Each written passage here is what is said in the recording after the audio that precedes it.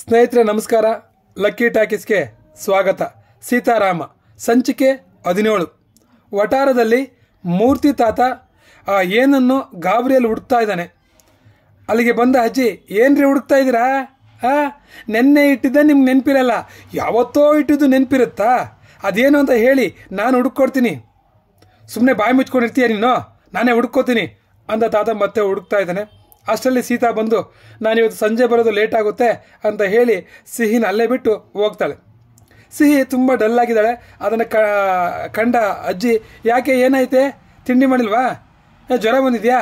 ಎಲ್ಲ ಚೆಕ್ ಮಾಡ್ತಾಳೆ, ಎಲ್ಲ ಆಲ್ ರೈಟ್ ಆರಾಮಾಗಿದ್ದಾಳೆ.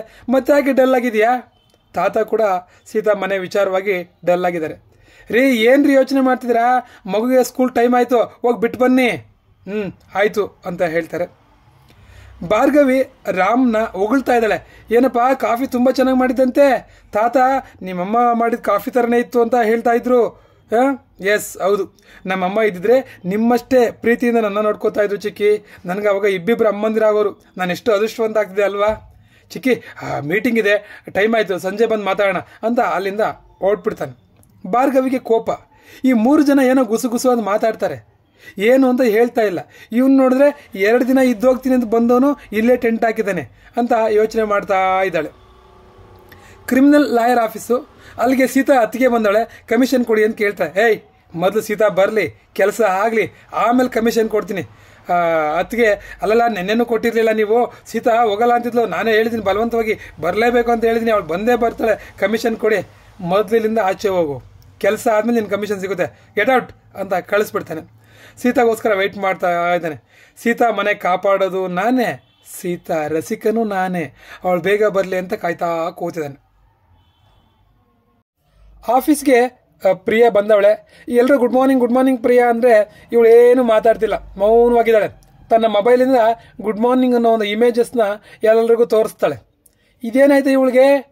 ಏನಾಯ್ತು ಅಂತ ಕೇಳಿದಾಗ ಇವತ್ತು ಬೆಳಗ್ಗೆ ಪಿ ಜಿಯಲ್ಲಿ ಗಲಾಟೆ ಆಯಿತು. ಅಲ್ಲಿ ಯಾರೋ ಒಬ್ರು ಬಾಯಿ ಬಡ್ಕಿ ಅಂದ್ಬಿಟ್ರು. ಅದಕ್ಕೆ ಇವತ್ತು ಮೌನರಥ ಅಂತ ಅದನ್ನು ಟೈಪ್ ಮಾಡಿ ಮೊಬೈಲ್ ಎಲ್ಲರಿಗೂ ತೋರಿಸ್ತಾಳೆ. ಹ್ಞೂ ಸರಿ ಹೋಯ್ತು. ಪ್ರಿಯ ಅಥವಾ ಪ್ರಿಯಾ ಬಂದು ತನ್ನ ಕುರ್ಚಿ ಮೇಲೆ ಕೂತ್ಕೋತಾಳೆ. ಹೇಗಿದ್ರು ಬಾಯಿ ಬಡ್ಕಿ ಅಲ್ವಾ? ಎಷ್ಟೊತ್ತು ಸುಮ್ಮನೆ ಇರೋಕ್ಕಾಗುತ್ತೆ ಹೇಳಿ. ಆಗ ಸೀತನ ಅಬ್ಸರ್ವ್ ಮಾಡಿದ್ರೆ ಸೀತಾ ತುಂಬ ಡಲ್ ಆಗಿದ್ದಾಳೆ. ಅದನ್ನು ಗಮನಿಸಿ, ಏ, ಯಾಕೆ ಡಲ್ ಆಗಿದೆಯಾ? ಹ್ಞೂ ನನಗೆ ಅರ್ಥ ಆಗೋಯ್ತು ಬಿಡು. ಇವತ್ತು ನಿಮ್ಮ ಅದಕ್ಕೆ ಬಂದಿರ್ತಾರೆ. ಏನೋ ಕಿತಾಪತಿ ಮಾಡಿರ್ತಾರೆ. ಅದಕ್ಕೆ ನೀನು ಡಲ್ ಆಗಿದೆಯಾ? ಎಸ್ ಸೀತಾ ಕೂಡ ಹೌದು ಅಂತ ಹೇಳ್ತಾಳೆ ಸೀತಾ ಲಾಯರ್ ಗುಂಗಲ್ಲೇ, ಅಂದ್ರೆ ಲಾಯರ್ ಫೋನ್ ಮಾಡಿದ್ನಲ್ಲ, ಅದೇ ನೆನಪಲ್ಲೆ ದುಃಖದಲ್ಲಿ ಇದ್ದಾಳೆ ಅವಳು. ಕ್ಯಾಬಿನ್ನಲ್ಲಿ ಆಡಿಟರ್ಸ್ ಜೊತೆ ರಾಮ್ ಮತ್ತು ಅಶೋಕ್ ಮೀಟಿಂಗ್ ಮಾಡ್ತಾ ಇದ್ದಾರೆ. ಮ್ಯಾನೇಜರ್ ಅವ್ರು ಏನು ಮಾತಾಡ್ತಾರೆ ಅದನ್ನು ಕೇಳಿಸ್ಕೋಬೇಕಂತ ಕದ್ದು ಕದ್ದು ಕೇಳಿಸ್ಕೋತಿದ್ದಾನೆ ಏನು ಕೇಳಿಸ್ತಿಲ್ಲ. ಸರಿ ಅಂತ ಧೈರ್ಯ ಮಾಡ್ಕೊಂಡು ಕ್ಯಾಬಿನ್ ಒಳಗಡೆ ಬಂದ್ಬಿಡ್ತಾನೆ. ಬಂದ್ಬಿಟ್ಟು ನಾನು ಮ್ಯಾನೇಜರು ನಿಮ್ಗೇನಾದ್ರು ಸಹಾಯ ಬೇಕಾದ್ರೆ ಕೇಳಿ ಅಂತ ಅವನನ್ನು ಅವನೇ ಪರಿಚಯ ಮಾಡ್ಕೋತಾನೆ. ಮನೆಯಲ್ಲಿ ತಾತ ಒಂದಷ್ಟು ಫೈಲ್ಗಳನ್ನ ಚೆಕ್ ಮಾಡಿ ಚೆಕ್ ಮಾಡಿ ಸೈನ್ ಆಗ್ತಾ ಇದ್ದಾರೆ. ಭಾರ್ಗವಿ ಟ್ಯಾಬ್ಲೆಟ್ ಕೊಟ್ಟು, ಮವಯ್ಯ, ಸಮಯಕ್ಕೆ ಸರಿಯಾಗಿ ಟ್ಯಾಬ್ಲೆಟ್ ತಗೋಬೇಕು ನೀವು. ಮರ್ತೇ ಹೋಗ್ತೀರಾ? ಏನಮ್ಮ ಮಾಡೋದು? ಆ, ಅಲ್ಲ ಮವಯ್ಯ ಆಫೀಸ್ ಕೆಲಸಗಳನ್ನ ಮನೆಗೆ ತರಬೇಡ್ರಿ ಅಂತ ರಾಮ್ಗೂ ಹೇಳಿದೀನಿ ನಿಮಗೂ ಹೇಳಿದ್ದೀನಿ ಆದರೂ ಯಾಕೆ ಆಫೀಸ್ ಕೆಲಸಗಳು ಮನೆಗೆ ತರ್ತೀರಾ? ಕೊಡಿ ನಾನು ಹೆಲ್ಪ್ ಮಾಡ್ತೀನಿ ಅಂತ ಫೈಲ್ಗಳನ್ನ ತಗೊಳಕ್ ಹೋದಾಗ ತಾತ ಪಟ್ ಅಂತ ಫೈಲ್ಗಳನ್ನ ತಗೊಂಡ್ಬಿಡ್ತಾರೆ. ಬೇಡ ಬೇಡಮ್ಮ. ನಾನೇ ಮಾಡ್ಕೋತೀನಿ ನಾನೇ ನೋಡ್ಕೋತೀನಿ ಬಗ್ಗೆ ನೀನು ತಲೆ ಕೆಡಿಸ್ಕೋಬೇಡ. ಸರಿ ಅಂತ ರೂಮ್ಗೆ ಕಾಫಿ ಕಳಿಸು ಅಂತ ಹೋಗೋದಕ್ಕೆ ಹೋಗ್ತಾನೆ. ಅಷ್ಟರಲ್ಲಿ ಯಾರೋ ಇದ್ದಂಗೆ ಆಗುತ್ತೆ ನೋಡಿದ್ರೆ ಆ ಕುಡ್ಕ ಚಿಕ್ಕಪ್ಪ ಎಲ್ಲವನ್ನು ಕೇಳಿಸ್ಕೊತಾ ಇದ್ದಾನೆ ಕಿಟಕಿ ಹತ್ರ. ಅದನ್ನು ಗಮನಿಸಿ, ಮನೆಯಲ್ಲಿ ಮನೆಯವ್ರ ಥರ ಬದುಕೋದಕ್ಕೂ ಒಂದು ಅದೃಷ್ಟ ಇರಬೇಕು. ಅಂತ ಅದೃಷ್ಟ ಇಲ್ಲ. ಹಾಂ? ಎಲ್ಲ ಕದ್ದು ಕೇಳಿಸ್ಕೋತಾರೆ. ಅಂತ ತಾತ ಬೈಕೊಂಡು ಬೇಗ ಕಾಫಿ ಕಳ್ಸಮ್ಮ ಅಂತ ಹೋಗ್ಬಿಡ್ತಾನೆ. ಆ ಕುಡ್ಕ ಚಿಕ್ಕಪ್ಪನ ಹತ್ರ ಬಾರ್ಗವಿ ಬಂದು ಬೆಕ್ಕಡ್ಡ ಬಂದರೆ ಅಪಶಕುನ ಅಂತಾರೆ. ನೋಡಿದ್ರಲ್ಲ ಮಾವ ಹೆಂಗೆ ಹೋಗಿದ್ರು? ಅದಕ್ಕೆ ಆ ಮೂಲೆಗೆಲ್ಲ ಇಲ್ಲಿ ಇಲ್ಲಿಗೆಲ್ಲ ಯಾಕೆ ಬರ್ತೀರಾ ನೀವು? ಕುಡ್ಕ ಚಿಕ್ಕಪ್ಪ, ಮನೆಗೆ ಇಲಿಗಳು ತುಂಬ ಬಂದುಬಿಟ್ಟವೆ.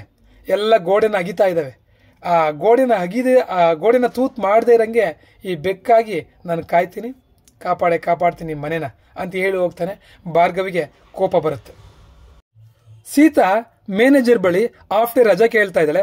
ಮ್ಯಾನೇಜರ್, ಆಗೋದಿಲ್ಲಮ್ಮ, ನೀನು ಬರೋದೇ ಹಾಫ್ ಡೇ ಲೇಟು ಆ ಟ್ರಾಫಿಕ್ಕು ಅದು ಇದು ನೂರೆಂಟು ನೆಪ ಹೇಳ್ತೀಯ.